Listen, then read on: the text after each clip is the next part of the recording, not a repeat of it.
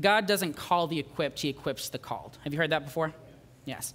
Well, that is true, but that exact phrase is not in the Bible. That's not a verse you can look up and find and quote to somebody and say, that's in the Bible. But those ideas, that sentiment, that truth is in the Bible, just in a little bit of a broader sense. And today I want us to dig a little bit deeper into that, how we are not qualified in our own ability, but when Christ calls us to something, when the Holy Spirit speaks and says, do this, that qualifies us. Okay? So that's what we're going to be primarily talking about today. Uh, and in that, we're going to be going through a few different sections of, of the Bible and talking about examples of this, of this calling, and how the qualification process took place, and how there are really three things I want us to focus on in each of these examples. And those are the necessities of fellowship, the necessities of faith, and the necessity of surrender. Okay? So now it's time we should probably open the Bible. So please, if you will, turn in your Bibles this morning to John chapter 6, beginning in verse 1. So this is a familiar passage to many of you, if not all of you, I assume. This is the story of when Jesus fed the 5,000.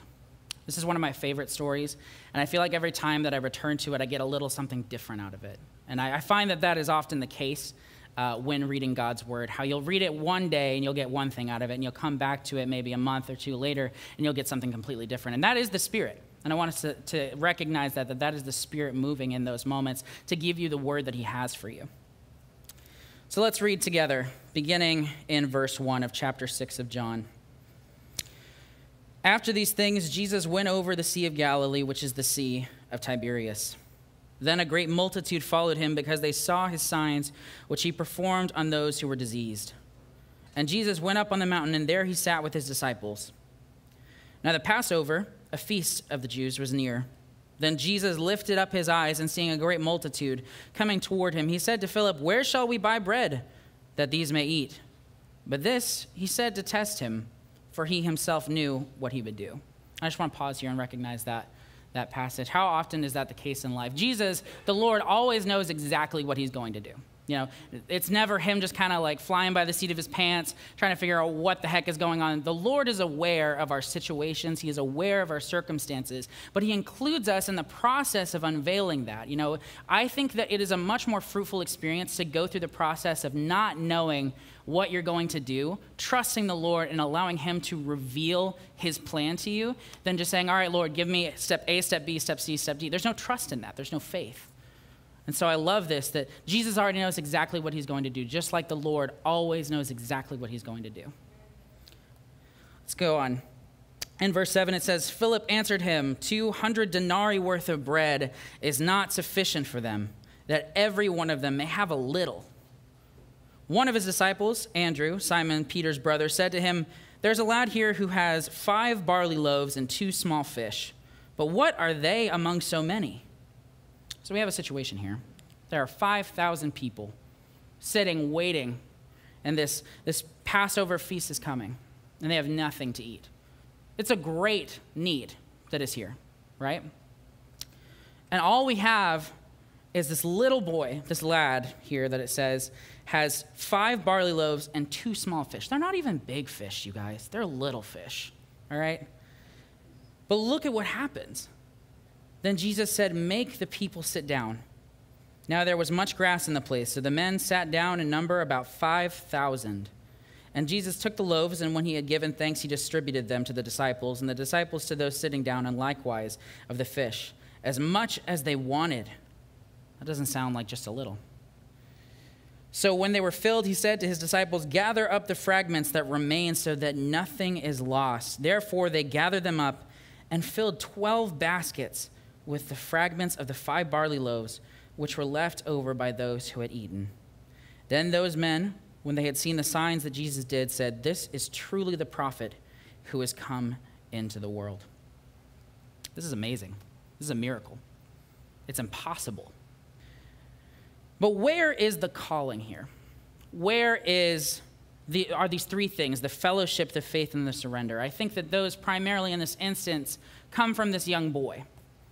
He is us in this scenario. We are the boy who had these five barley loaves and these two small fish. But first, you want to note we don't even know this boy's name. Do you know that? We don't, we, it's not here. It's just the boy. And that is kind of a picture of our service to the Lord. It's not about who we are, it's not about our name and, and what we have. It's what the Lord can do with the boy, with the fish, with the bread. And in this act of, of being called to give these things to the Lord, like I said, there are three things that I want us to focus on here. The first is fellowship. And when I say that, I mean the relationship. The, the relationship that this boy has with Jesus. Now, Jesus is someone who he'd been following, he'd been listening to. They were there to hear from Jesus.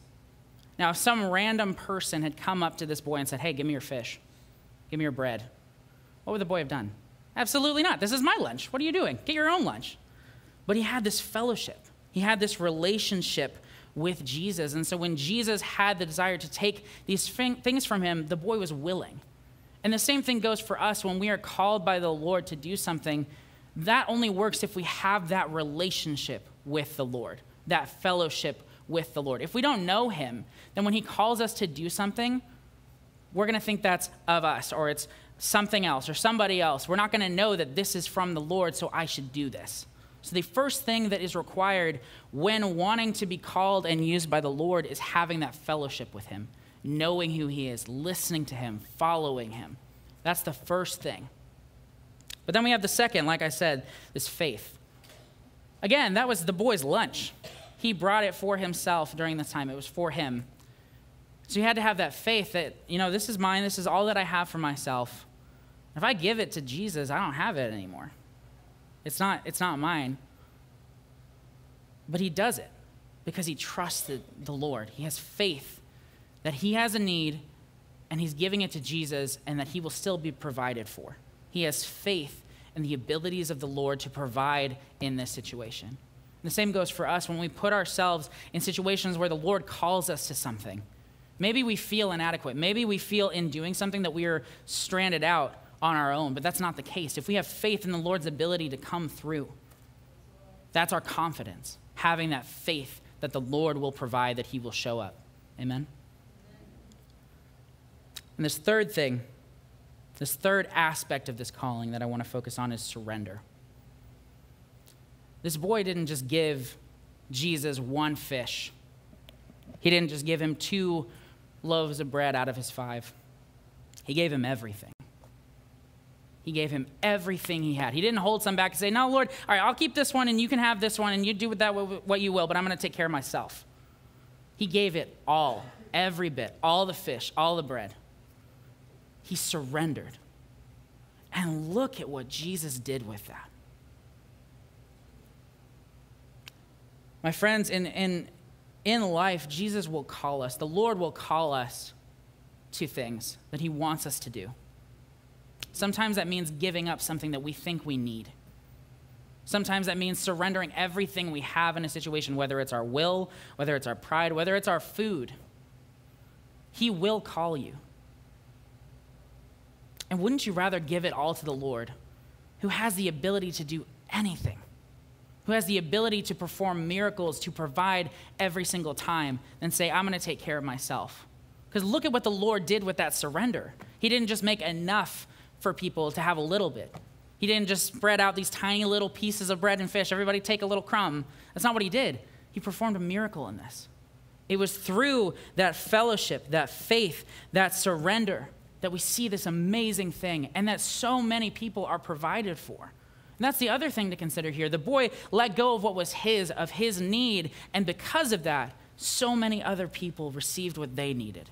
And the same thing goes for us when we're called. Sometimes we're so focused on our own needs that we don't allow the Lord to call us in a situation and use us to meet the needs of others. We don't know. The boy had no idea that the Lord was going to take his little fish and bread and feed 5,000, because that's impossible. That's not something that he on his own could comprehend.